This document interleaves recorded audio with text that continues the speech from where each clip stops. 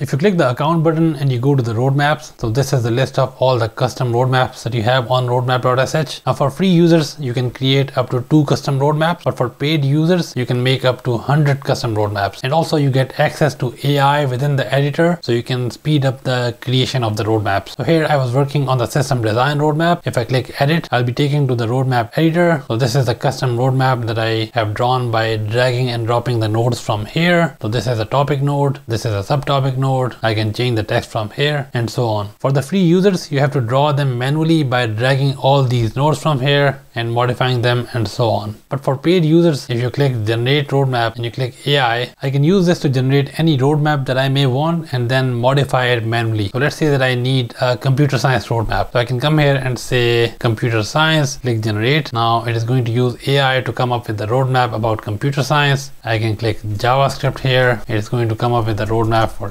JavaScript. I can give it any other topic and it will come up with a roadmap for that. And then I can start modifying. Going back to the component section, section I can add my own nodes here I can modify it as I may see fit I can add my own nodes as well then connect this here change the style a bit and modify this. Yes standards for example i can add my subtopics here connect them here add more and keep on going with the editing of the roadmap. So this is how the ai can help you speed up the creation of the roadmap in the editor